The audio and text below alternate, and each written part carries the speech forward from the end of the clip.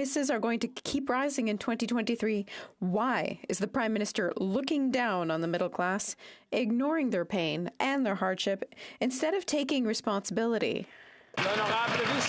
The Honourable Deputy Prime Minister. Mr. Speaker, we understand that many Canadians are facing real hardships when it comes to affordability. That's why our government has a compassionate approach and a responsible one. And this is our plan. We doubled the GST tax credit. We added a $500 top up for renters, and we're offering dental care to Canadian children.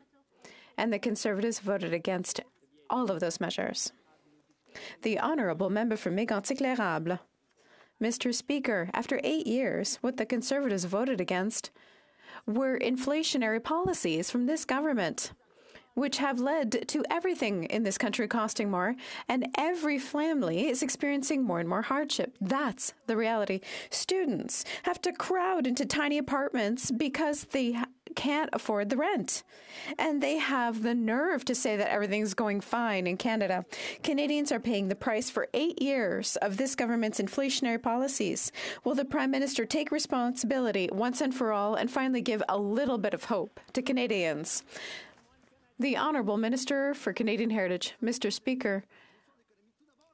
When it comes to money, it doesn't grow on trees, and it's not cryptocurrency that can multiply infinitely.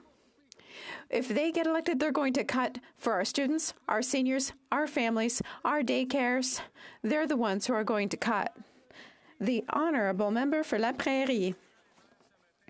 According to Chantal Hébert this morning, the Anglo Quebec wing of the Liberal government wants nothing more than to. I didn't hear a thing. So I will ask the member to restart so that we can all hear his question, the honourable member. According to Chantal Hébert this morning, the Anglo Quebec wing of the Liberal government wants to prorogue the House rather than pass Bill C 13 as amended by the opposition because it recognizes, imagine this, the Charter of the French language. What horror! All the work of this House should be stopped because a few West Island MPs don't want to protect French. These members don't want to protect French, not in the West Island area, not in Quebec, not in Acadia, not in the rest of Canada. Can the Prime Minister assure us that Bill C 13 won't end up on the 13th Circuit? The Honourable Minister for Official Languages. Mr. Speaker, it's the contrary. We are impatiently looking forward to passing this bill.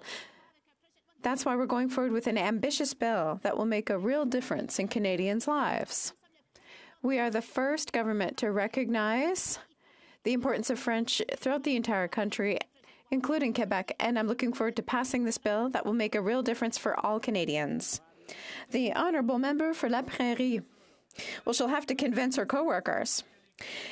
In the same column, it was implied that Anglo Quebec MPs imposed the Charter of the French language, and they might go so far as to leave the Liberal Party rather than vote for C 13.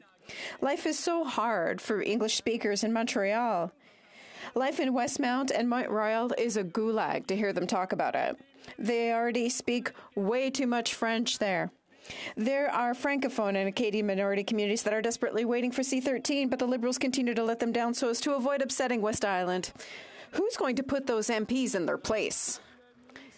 The Honourable Minister of Heritage.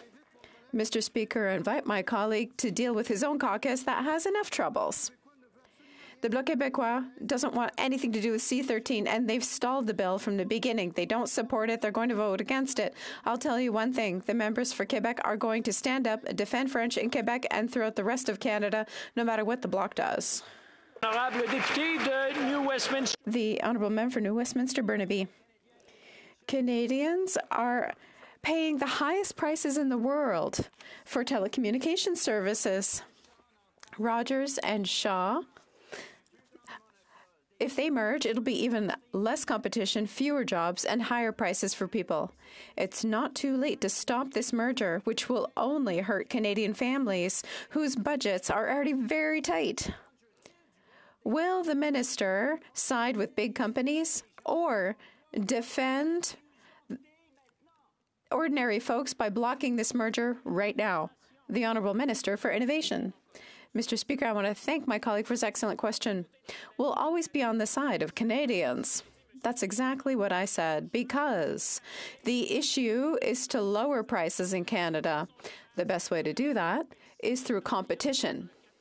It's through having a fourth strong player in the country. I've already said no to transferring licenses for Shaw Rogers, and I'm going to look at the decision of the Federal Appeal Court in the interests of Canadians. Transcona. Well, Mr. Speaker, if he's ultimately going to say no to the merger, why doesn't he just come out and say it? We already know that Canadians pay among the highest prices for telecom services in the world.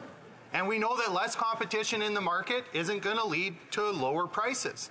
So the answer is pretty clear. The minister's hinting at it. When is he going to do the right thing, provide some reassurance to Canadians who are already struggling with their household budgets and can't afford not to have a cell phone, and say no to the merger? Hear, hear. The Honourable Minister. President, with all due respect, I won't take much lessons from colleagues when it comes to fighting for Canadians. We do that every day on this side of the House, Mr. Speaker. Right. Fighting for Canadians. We understand that the best way we can do that, Mr. Speaker, is to make sure that we lower the price of cell phone bills in Canada, making sure that we have more competition, making sure that we have a fourth national player. Mr. Speaker, Canadians watching at home, it's Monday today. They know that we stand on their side, and we'll do everything to protect their rights and making sure that the cell phone bills will come down in Canada. Thank you.